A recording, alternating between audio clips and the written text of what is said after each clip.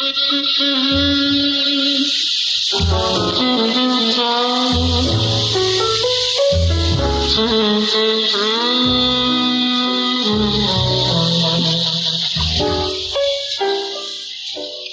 cuento.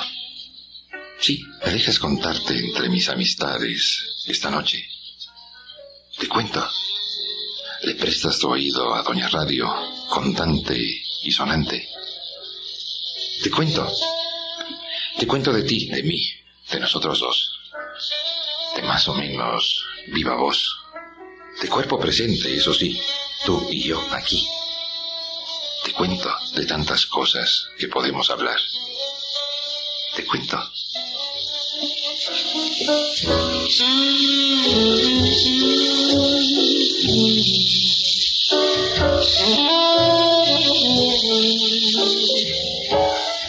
Déjame contarte que tengo una amiga. ¿Qué de raro en eso? Tú me dirás. Si el 50% de la humanidad son hombres y el 50% de la humanidad son mujeres, en números cerrados, y no estamos en estos momentos, ni tú ni yo, para ponernos a hacer o revisar estadísticas, qué de raro, por esos porcentajes, que yo tenga una amiga. Y un amigo, y otra amiga, y otro amigo, y una amiga, y otro amigo. Pero mi amiga se llama Cecilia. Eso ya la va particularizando. Y peor te la cuento. Mi amiga Cecilia un día se toma la molestia de regalarme un libro. ¿Por qué? Porque ella supone que yo leo. Si te contara lo poco que leo y lo mucho que me falta por leer, te horrorizarías y me dejarías aquí hablando al aire. Mejor prefiero cambiar de tema. Seguirte contando, en todo caso, de mi amiga Cecilia, el libro que me dio. A ver a qué te suena el título. ¿Tú te ofenderías si te regalan un libro que se llame Sabiduría de los Idiotas? Tal cual. No vayas a pensar que es un libro enorme. No, según parece, la sabiduría de los idiotas es muy breve. Es un libro pequeñico, de esos que puedes llevar a cualquier parte en el bolsillo, sacarlo en casos de emergencia, ponerte a leer y algo aprender. Te cuento por qué sabiduría de los idiotas y por qué no me ofendí yo en el momento en que Cecilia me regala este libro. Por una sencilla razón. Por faldas o mangas. Así lo decía Cervantes, y lo de angas y mangas es un decir ya modificado. Total, por faldas o mangas, yo me he dedicado a aprender cosas sobre el idioma. Que sé dos o tres palabras sobre idiomas añejos, dos o tres palabras también sobre idiomas más o menos corrientes del tiempo moderno.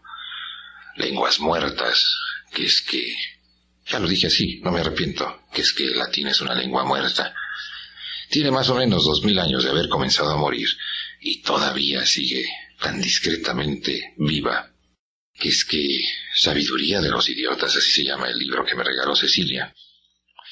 Pequeño, pequeño librito, enorme en contenido. Mira, en esas lenguas semi muertas, las palabras tal vez signifiquen algo que ni tú ni yo nos damos cuenta. ¿Y cómo nos vamos a dar cuenta si apenas tenemos tiempo para ganarnos el pan nuestro de cada cuatro o cinco días, tiempos de crisis, tú sabes, y no para detenernos a pensar en las palabras? Aunque digamos lo que más o menos queremos decir, con eso basta y sobra. ¿No es cierto? Si yo te dijera ahora que soy un idiota. No, no es ninguna confesión de parte. Por favor, no me insultes. Para insultarme me basto a mí mismo. Pero si te dijera que tú y yo somos eso.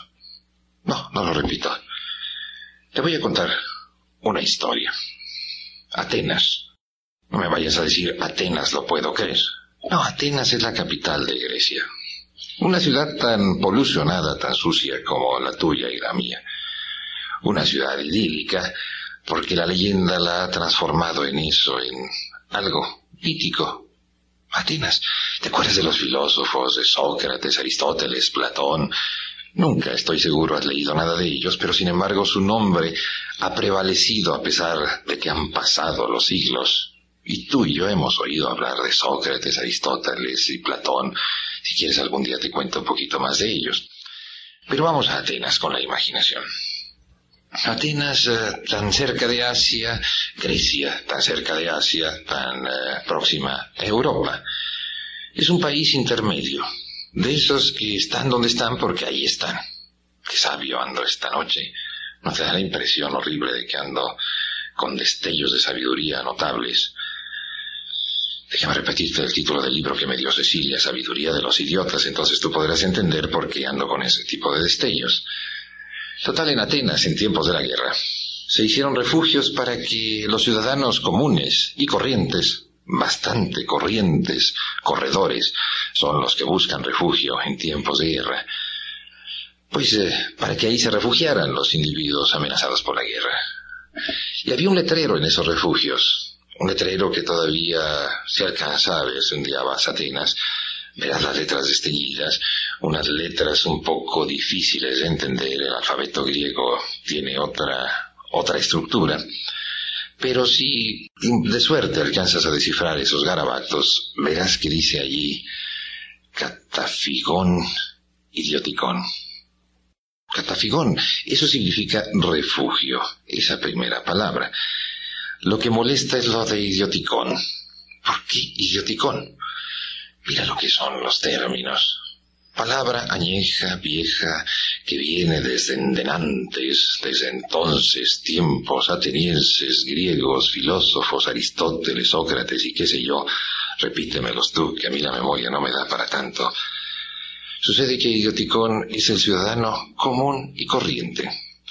Había refugios para ciudadanos normales, quién sabe qué sea lo normal y ya nos hemos arrumbado por esa difícil cuestión en alguna otra noche. Pero el idioticón es el, el ciudadano. Tú y yo somos eso, idioticones. O idiotas, si quieres que lo traduzca. Para diferenciar esos refugios atenienses de los adecuados o los señalados para gente de la política. Ya veis que los funcionarios públicos, esos que traen sus credenciales, esos que traen sus insignias, sus placas oficiales, no son ciudadanos comunes y corrientes, ellos son de otro estatus, de otra categoría, de otra jerarquía. O los aristócratas también podrían ser de otra jerarquía, de otra categoría, qué sé yo. Idioticón, catafigón idioticón, refugios para los ciudadanos comunes y corrientes. Por eso, por eso no me ofendí cuando Cecilia, y ahí comenzó todo este recuento nocturno, que Cecilia, mi amiga, me da un libro, y el libro se llama Sabiduría de los Idiotas, y yo no me ofendo porque entendí perfectamente la palabra, yo soy un idiota, un individuo común y corriente. Y claro, la palabra se convirtió en un término insultativo porque cuando uno considera al otro así, común y corriente, uno se está autonombrando un individuo de categoría superlativa. Esos son idiotas, no yo. ¿Me entiendes algo? Te cuento. Te cuento que a toda carrera llego a platicar contigo noche a noche. Y tengo en algún momento dado que ponerme a pensar, bueno, ¿qué le voy a decir esta noche? ¿Qué te voy a decir esta noche? Y de pronto me tropiezo con el librito, con esa palabra tan sonora, tan consonante, idiotas, y decidí que te iba a contar en principio que yo soy un individuo común y corriente, común y volante. En estos momentos vuelo con la lengua, pero corro cuando llego a encontrarme contigo. Las carreras de estas novedosas ciudades, las carreras que hay que dar, lo corriente, el que corre, lo corrientes que somos tú y yo. O tú no corres. Pero te confieso, y no lo veis, el micrófono es muy discreto. Por más que acerco yo aquí mis papeles al micrófono, tú no los ves. Pero me, por favor, créeme, solicito tu crédito. Créeme que tengo unos papelitos frente a mí, papelitos garabateados, en los cuales pongo una notita para que no se me olvide lo que no lo que tengo, sino lo que quiero decirte.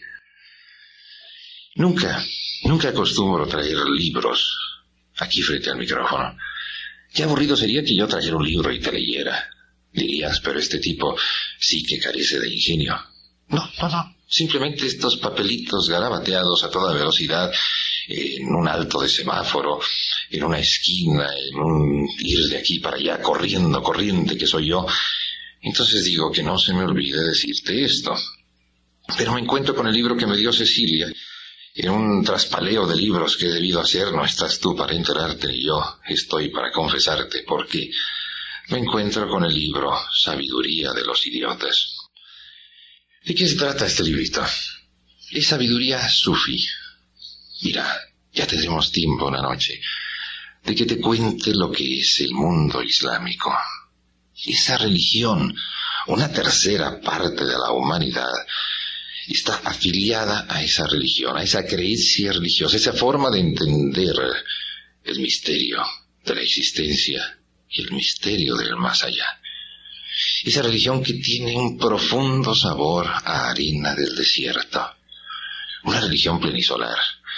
Una religión que tiene pautas diferenciantes con las que se acostumbran de este lado de nuestro continente, en esta fracción de nuestro mundo, puesto que en esa religión no hay sacerdotes. No. Simplemente es un entendimiento entre el misterio y tú. No sé si tú seas musulmán, si tú hayas leído el Corán en alguna ocasión, si sepas algo del mundo islámico. Es un mundo fascinante. Ya hablaremos de él. Pero como no hay sacerdotes, como no hay santos tampoco, entonces los sufis vienen siendo como los, eh, los hombres reconocidos en virtud, en sabiduría, en calidad humana, que transmiten sus conocimientos, sus interpretaciones del Corán a los demás. Los sufis, los ayatollas. Fíjate también, no vayas a pensar que el Islam es un monolito. No, no, no, absolutamente. Es una religión con sectas, con fracciones, con fraccionamientos de pensamiento, que eso son las sectas y las fracciones o las facciones. Es una religión que se ha dividido, como el cristianismo, pero no vamos a hablar de religión porque arruinamos nuestra conversación esta noche. Simplemente te digo, me encontré ese libro que se llama Sabiduría de los Idiotas, que es una traducción de las enseñanzas de los sufis. Te leo, me dejas leerte. Todo esto, todo esto para, para excusarme de lo que voy a hacer con tu oído esta noche. Te leo. Si lo que te prometo a diario es un te cuento cómo me atrevo a leerte algo. Te leo porque Mañana, por cierto, no vamos a abrir el departamento de quejas. No, no, no. Es, esto va a proseguir. Eh, ya te diré cuándo podemos tú y yo comunicarnos por teléfono. Pero por el momento dejámonos de las cartas. El día que te dé la gana me escribes, yo te respondo, porque me da muy respetable gana. Yo te respondo por escrito.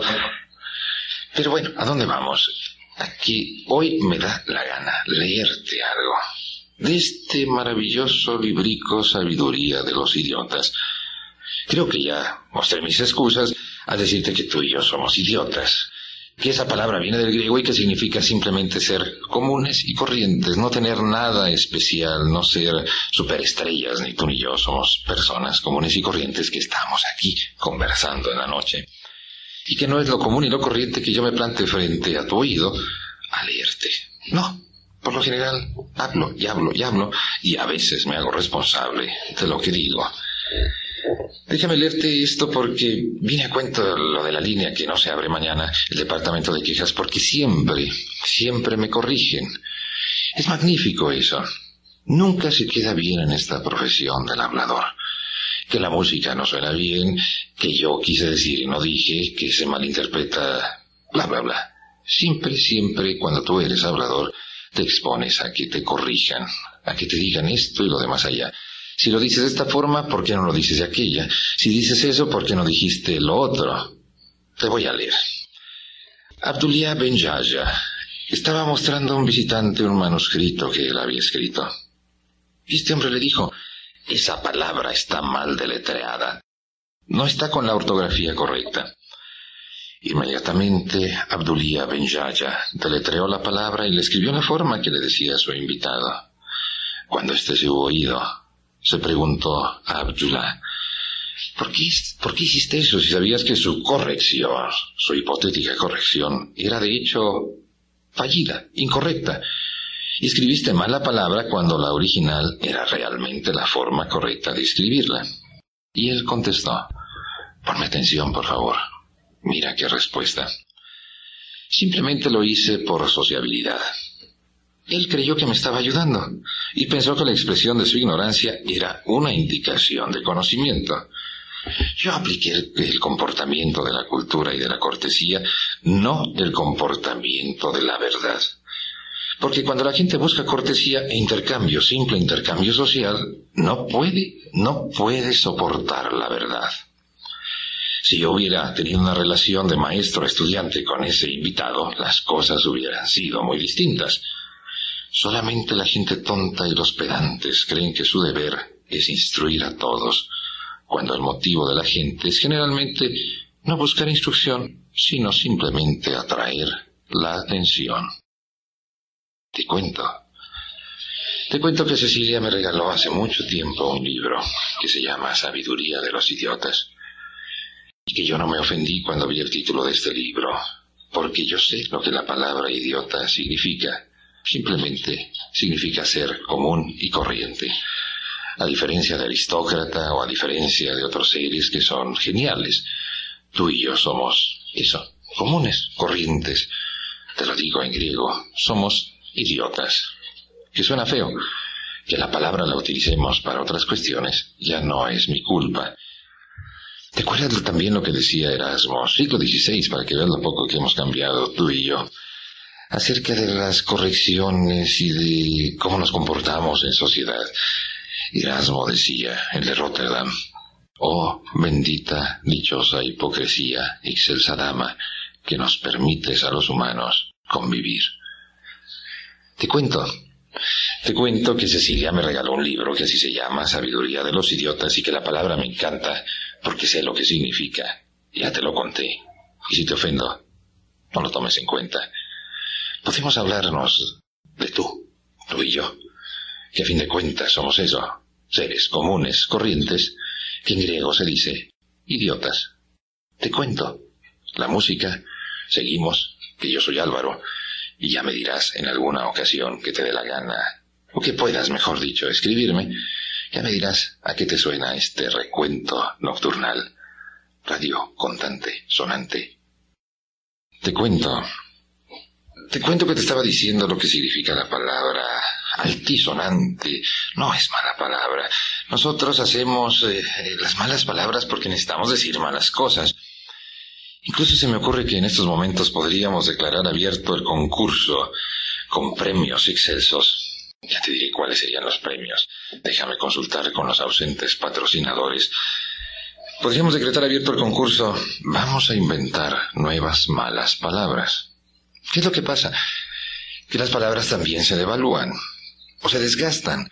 Tanto las usamos que acaban significando nada.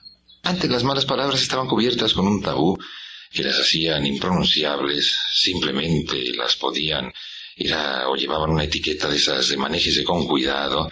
Y ahora nada, los niños ya utilizan, ya las han aprendido muy bien, los niños las utilizan todos los días y las malas palabras han, se han convertido en palabras comunes y corrientes, en términos idiotas. Sí, déjame insistir en eso. Originalmente la palabra idiótico significaba simplemente el ser comunes y corrientes. Y claro, el que le dice a otro tú eres un idiota, se pone en una jerarquía superior y lo señala a él como inferior. Y por eso se convierte en una especie de más o menos mala palabra. Pero ¿qué podemos hacer tú y yo para hacer un nuevo vocabulario para maldecir a los demás? Vamos, vamos, anda, ingresa en este concurso. Premios insospechados. Ninguno, puesto que no puedo prometerte absolutamente nada. Pero pues déjame consultar a los hipotéticos patrocinadores a ver, a ver qué premios te podemos dar para el mejor inventor de las nuevas malas palabras. Pero ¿Qué te estaba contando? Que tú y yo somos seres comunes y corrientes. Y que tú y yo usamos el vocabulario sin detenernos a pensar en lo que significan las palabras. Porque a fin de cuentas ya ni lo importante es que nos entiendan. ¿Quién nos va a entender? ¿Te entiendes? Te cuento. Te cuento que hay un término muy corriente y muy circulante. Así se llama. Fíjate, en inglés se llama currency esto es eh, la moneda. La moneda viene a ser lo corriente, porque corren las monedas de mano a mano, vuelan, ¿No te has puesto a pensar si alguna vez de pura casualidad recibes el mismo billete que tú diste hace X número de días o el X número de años? No. Ese circulante, corriente, corre, corre la moneda. Te cuento, vamos hilvanando de alguna forma este recuento. En una ocasión yo fui un poco idiota, ingenuo, corriente. Veo un catálogo de una subasta. Detente, por favor en esa palabra, subasta. Fíjate lo que son las subastas. Nos hablamos de tú o de usted. Te lo puedo decir de tú, tú basta. Te lo puedo decir de usted, subasta. Las subastas son unos procedimientos de venta muy ingeniosos. Aquí no hay muchas en este país, pero los ingleses se pintan solos para eso que se llaman subastas. Sotheby's, Christie's, son galerías en donde tú vas, hay un cuadro, un Van Gogh, una baratija, lo que sea, joyas, lo que quieras, y haces una seña, nadie habla. Es un silencio hermosísimo. Esos ingleses son muy herméticos.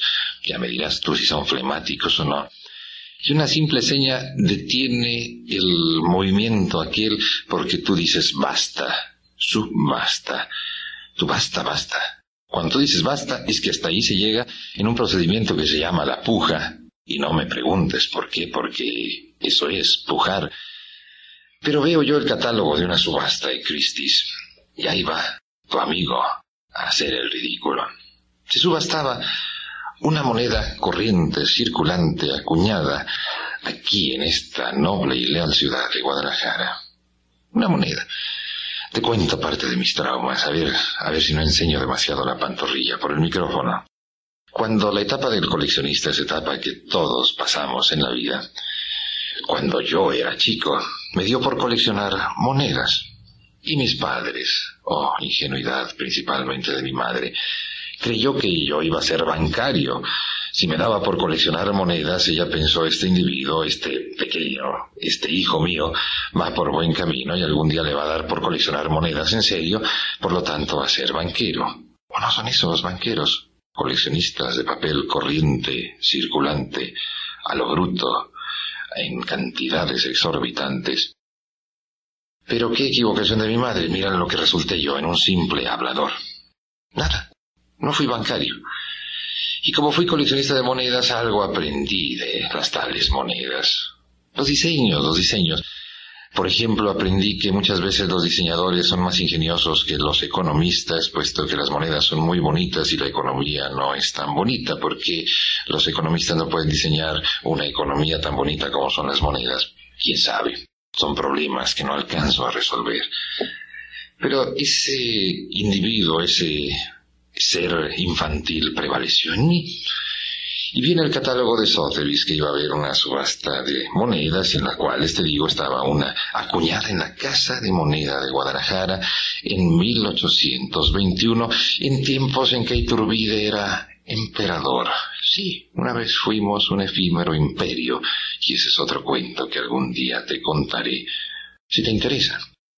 Y dije, yo voy a ir a comprar esa moneda porque tiene, que está haciendo en Londres, una moneda acuñada en Guadalajara, y voy a ir yo a comprar esa moneda a la subasta que puede valer. Es una moneda de un real que no puede valer gran cosa. ¿A quién le va a interesar? Y llega tu amigo, yo, Álvaro, me llamo, por si no sabías. Llego a la casa de subastas y empieza la puja y la moneda aquella de un real acabó costando algo así como siete mil y tantas libras esterlinas, un dinero que yo no tenía para invertir en una simple moneda. Me la ganaron.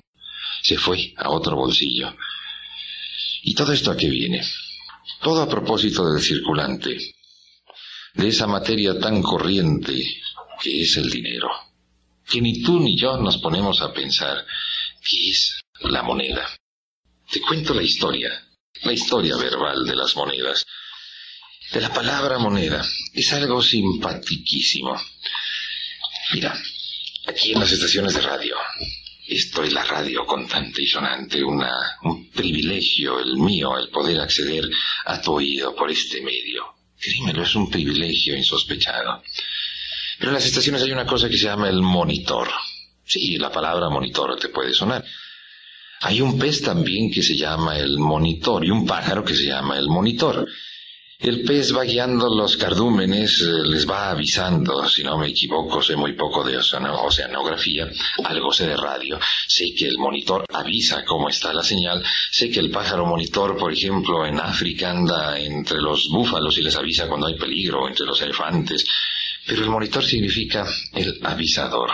Es una forma elegante, latina, siempre los latinajos colgando de nuestra lengua o prendidos a nuestra lengua, y yo no inventé el idioma, yo cuando llegué, créemelo, ya estaba hecho. Eso significa monitor. Hay una palabra que ya no usamos mucho, ya, ya se ha olvidado, la admonición. La admonición es cuando te avisan que no hagas esto, que no hagas lo de más allá. Eso significa la admonición. Y moneda, ¿no te suena como a monitor? Admonición. ¿Verdad que sí? Pues es una historia un poco alambicada. También también vamos a responsabilizar una vez más a los romanos, veto a saber quién fueron ellos, pero aquí andan todavía metidos en nuestra conversación. Sucede que había una diosa, la diosa a, quien está dedicado el mes de junio. ¿Te das cuenta cómo todavía los romanos viven en nuestro calendario? ¿Qué vamos a hacer para erradicarlos? Proponme un remedio y lo hacemos. El mes de junio dedicado a la diosa Juno. Juno era la diosa de los avisos, de las advertencias. Era la patrocinadora, le podríamos llamar así, de las eh, notificaciones. Yo no sé, pero los romanos también, tenían departamentalizada su teología. Es una tradición que ha pasado a nosotros. Te fijas un poco cómo hay santos especializados en esto o en aquello, los santos patronos. Y los romanos tenían esa, esa costumbre de departamentalizar la teología y Juno era la diosa que avisaba, la diosa monitora, la diosa de las advertencias. En el templo de esa deidad fue donde se estableció la primera casa de moneda. ¿Vas entendiendo algo? ¿Qué tiene que ver Juno? Pues simplemente que en su templo se hicieron las monedas o se estableció la primera casa de moneda oficial de los romanos. La monitora las monedas. Es una transposición en el lenguaje. Las cosas comienzan siendo algo y siguen siendo algo muy distinto. Así la diosa de las admoniciones, la deidad, mejor dicho, de las admoniciones, Juno, en su templo se hacen monedas, admonición, moneda, pues el que se le llamen así esos trozos de metal que tú y yo andamos persiguiendo todo el día y a veces las alcanzamos, que se llaman así, monedas. Te cuento, te cuento algo más de monedas. Déjame insistir en aquello, yo no entiendo por qué los diseñadores hacen tan bonitas monedas y por qué los economistas no pueden hacer tan bonita la economía. Hay tantas cosas que no entiendo, pero del lenguaje algo sé. Y por eso, te cuento, seguimos con la música de K, radio contante y sonante, y luego, si quieres, seguimos conversando sobre eso, sobre eso que huele a veces tan mal, que es el circulante, las monedas. Te cuento, soy Álvaro. Seguimos, música. Te cuento que todo esto comenzó porque Cecilia un buen día me regaló un libro que se llama Sabiduría de los Idiotas y te cuento que te traduje la palabra idiota porque significa simplemente en griego persona común y corriente. Te cuento que te confesé que yo soy es una persona común y corriente, por lo tanto yo soy un idiota. Y te cuento que como somos comunes y corrientes andamos corriendo todos los días atrás del circulante del papel moneda tan corriente, corre la moneda de mano en mano. Y de pronto se me disbarató la... Se, patarró la conversación por el rumbo de las monedas. Las monedas. Que alguna vez quise ser coleccionista de monedas, que mi madre pensó que yo iba a ser banquero porque me dio por eh, cuando estaba chico coleccionar monedas. Te cuento que la palabra moneda viene de que se hacían en la casa de la deidad admonitora, en el templo de la deidad admonitora, avisante de la deidad llamada por los romanos Juno, de donde viene el mes de junio y como ella era la diosa de los avisos, admonitora, y ahí se hacían esos trozos de metal que se llaman así monedas, de ahí viene moneda, admonición, monitor. Monitor es el aparato que tengo aquí junto a mí que me dice cómo vuela la señal y llega a tu oído. Te cuento. Te cuento que las monedas originalmente pesaban. Nuestra moneda era un peso. Sí, pesaba. Ya te lo he dicho que los comerciantes, siglos coloniales, Tenían en sus mostradores una balanza para pesar los pesos. No fuera a ser que a ti se te ocurriera rasparle al peso de oro un poquito y así sacar un poquitín de ganancia. Entonces los comerciantes pesaban los pesos. Los pesos fueron pesados. Ya no. Los pesos son corrientes, vuelan, circulantes. Te cuento que fue apenas el siglo pasado, en esa transición Juárez, Lerdo, Porfirio Díaz. Fue en esa transición cuando se adoptó en México el sistema métrico decimal. Cien centavos, un peso. Antes era dificilísimo el sistema, los eh, reales que se dividían en, en cuarterones, que se dividían en... tenían unos nombres, ahorita no me vienen a la memoria, perdona que lo dije para otro día. Me vienen la memoria los nombres de aquellas eh, moneditas que habían en las que se dividían los pesos reales. Pero, en fin, fueron los rusos, fíjate, en el siglo XVI, fueron los rusos los primeros en adoptar el sistema métrico decimal para sus monedas. Y el rublo de los rusos significaba también unidad de peso. La libra, la libra esterlina, la libra es una unidad monetaria y unidad también de peso. Por lo mismo que te decía, las monedas anteriormente se pesaban. Pero vamos hablando de los rusos. Ellos fueron los que tuvieron la ocurrencia, no le llamemos genial, sino la ocurrencia lógica de dividir la moneda en unidades decimales. Cinco pecs, doscientas dengas, cuatrocientas poluscas hacían un rublo. Todavía la moneda fraccionaria en Rusia se llama así Kopek. Esto hace referencia, fíjate, todas las monedas son símbolos, símbolos que traen símbolos. Si tú te detienes a ver nuestros nuevos o viejos pesos, verás que tienen un simbolismo ahí grabados y qué sé yo, y son símbolos. Y los rusos ponían un lancero montado, un lancero atacando, un lancero bélico, guerrero, que se llamaba el copillo, de ahí viene la palabra kopek, que es el equivalente a centavo en ruso. Pero lo que te voy a contar, tiempo corriendo, hablando de circulante de corriente, te voy a contar rapidísimamente que en el siglo XVII y XVIII también circulaban en Europa unos tejos de plata que se llamaban táleros. Te lo dejo de tarea. Si me escribes y me dices qué moneda se derivó y dónde se hacían estos táleros, de dónde provenían, si me escribes y me resuelves este problemilla mental que yo tengo, qué moneda tan bellamente circulante en este mundo contemporáneo se derivó de esos táleros, te puedo, te puedo regalar un libro que escribí acerca de la historia contemporánea de Guadalajara. ¿Me ayudas? ¿Me ayudas a resolver mis eh, dudas? Iba a decir mis deudas, no, mis deudas déjamelas, mis dudas, si me ayudas y me dices qué moneda se derivó de estos táleros o tejos de plata, que dónde se acuñaban también te pregunto, me dices, te obsequio mi libro a cambio. Total, el tiempo corre, tú y yo somos corrientes. Te cuento, te cuento, te cuento que yo soy Álvaro González. ¿Te acuerdas lo que te pregunté? Si me resuelves esa duda, ¿Qué moneda se originó de los tejos de plata llamados táleros que circulaban en Europa siglo XVII y XVIII? Si me escribes y me resuelves esa duda, yo a vuelta de correo te hago llegar mi libro. Un libro que está escrito acerca de esta Guadalajara, libro que se llama Guadalajara Parto, Partida y Partimiento, qué nombre tan enigmáticamente obsceno. Yo te lo hago llegar a vuelta de correo.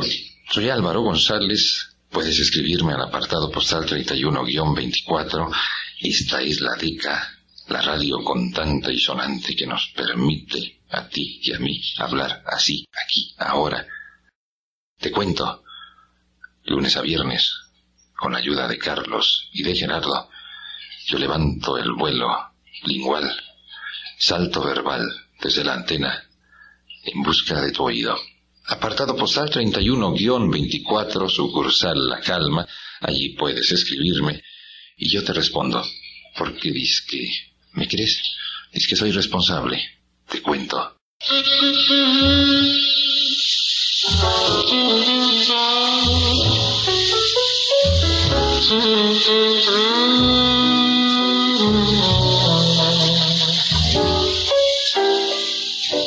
No te molestas si mañana te busco. Lunes a viernes, Deca, Radio Contante. Yo soy Álvaro González, tu amigo. Te cuento. ¿A qué te suena esto? Ya me escribirás. Digo, si quieres. Te cuento. Te busco.